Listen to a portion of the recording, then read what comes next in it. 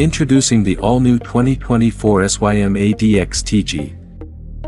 A crossover scooter that combines the characteristics of a scooter and an adventure motorcycle.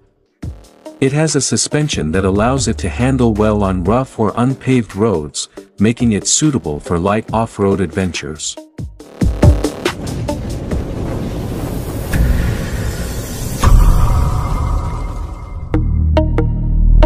SYM fuels its global expansion plans by presenting itself at the EICMA 2023 show in Milan with many new features for its already varied range of scooters.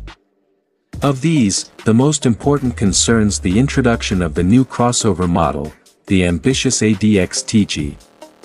This model joins the very recent ADX 125 in the newly inaugurated ADX product family. The Taiwanese company thus demonstrates great readiness in responding to the latest market trends, which see this new genre of medium displacement adventure scooters rapidly on the rise. EICMA certainly represented the ideal showcase for the launch of models that aim to assert themselves internationally. This ADX model, for now also alternatively referred to as ADX-TG, differs decisively, especially at the front, where it features an optical unit with suggestive saber teeth that extend to the side edges.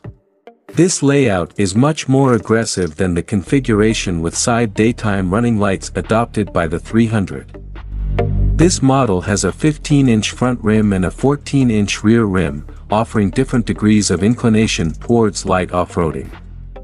In fact, this bike has a frame, a swing arm, and specific solutions that make it significantly better equipped for this purpose. It boasts a 399 cubic cm engine, closely related to that of the joint M-Max M400, from which it declares itself ready to extract 35 horsepower at 7,000 rpm and 37.2 newton-meters of maximum torque at 5,500 rpm. Among its features are the upside-down fork, an aluminum swing arm with a multi-link system, and monoshock chain final drive. Additionally, it comes with a high exhaust. Are you planning to buy this motorcycle unit? Let me know in the comment box below.